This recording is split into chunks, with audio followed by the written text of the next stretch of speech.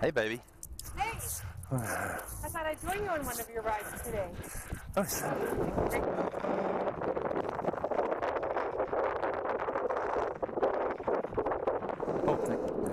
Welcome to day five of the Great Cycle Challenge, and today uh, Linda and I are in Canberra, so we thought we'd bring the bikes and go for a beautiful morning ride along the lake. It really is pretty down here.